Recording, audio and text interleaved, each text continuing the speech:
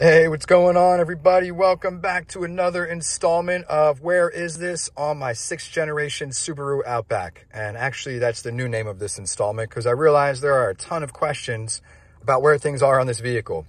So if you remember my older my older video, where is the trip odometer reset located? Remember? That Jawn's right in there.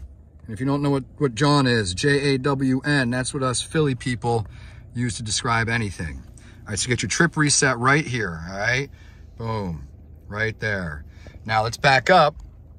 And someone asked me, well, I see my trip odometer uh, mileage right here, you know, A, and we'll switch to B. Okay, we got those two. He goes, but where is my overall mileage? Now, at the risk of sounding silly, let's zoom in and we see it right there, all right? So your overall mileage is directly below your trip mileage. Now, how do we change the unit of measure as well for this?